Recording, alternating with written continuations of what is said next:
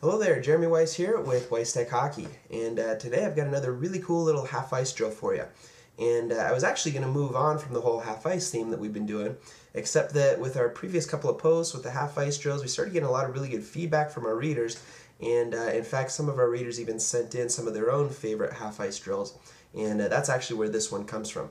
So this one's from uh, Petri Väisänen, and uh, I'm sure I'm saying that wrong. So uh, Petri's from uh, he's from Finland. So I apologize if I uh, if I got your name completely wrong there, but. Um, I wasn't sure how to pronounce it.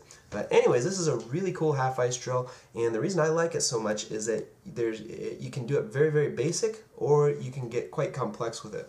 So let me show you the basic version of it and then as we progress through, I'll show you some uh, variations that you might want to try. Um, but what we're going to do, let's pull up the rink here, and then you can see we've got um, three defensemen in each corner. Now this works really well if you have, uh, you know, if you have six defensemen, because there is quite a bit of uh, quite a bit of skating here for the defensemen. So uh, you might want to try it with six. Uh, you can try it with four, but they might start getting tired. Um, so six defensemen in the corners, uh, and then you've got your lineup of forwards on each dot, with the coach in the middle with the pucks. So what's going to happen here is on the whistle, the defenseman is going to leave and skate up to the blue line and pivot. And he's going to start skating backwards. Okay. Now, as this happens, um, as soon as he kind of pivots at the other side of the blue line there, coach is going to go ahead and dump a puck into the corner. Just like that.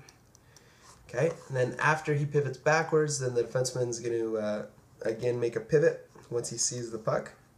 Once he sees that the puck's been shot in, um, pivot again, and then come into the corner and uh, pick up the puck.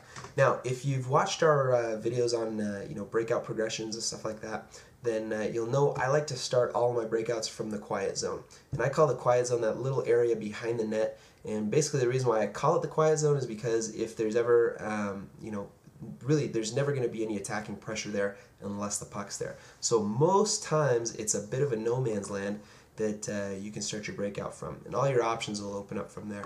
But uh, that's probably a topic for another video. So anyways, uh, just skate the puck towards the quiet zone and then misdirect for this option. So that's what we're working on for this option is uh, start the breakout to the quiet zone and misdirect. Now, as this is happening, in fact, I'm going to draw this in a different color just so Hopefully it's a little bit easier to distinguish the different parts. But uh, as the defenseman is picking up the puck, now the forward is leaving. Okay, so it's a bit of a timing drill. Forward's going to come in and pivot. So he's going to swing down low and then pivot backwards so he's not taking his eye off the puck. And then he's going to receive that breakout pass. We'll keep it in blue here just so that everything's quite clear. Okay, receives the breakout pass. Now after that defensive makes the pass, he's done. He can go back into his corner for this variation of it. And the forward will finish up the drill by attacking the seam. So attacking across the uh, top of the circle and taking a shot in stride. And if you want more about attacking the seam, go ahead and check out our video on uh, on the snake drill, snake shooting drill. You can take a look at that or take a look at the Mohawk drill as well. And that's something you probably want to incorporate into this drill as well, using the Mohawk or shooting in stride. So that's the basic vari variation of this. Now, as this is happening, obviously the next one you're going to do it from the other side. So, uh, you know, as this player is receiving his pass, coach can blow the whistle to start it again. Now this defenseman will leave and do the same thing. So that's the first variation of that. It's pretty straightforward. That's the basic uh, simplified version. Now you can get uh, you can get fairly complex with this. So let me show you. I'm going to delete all of this and then show you um, a couple of other variations that I thought were quite cool.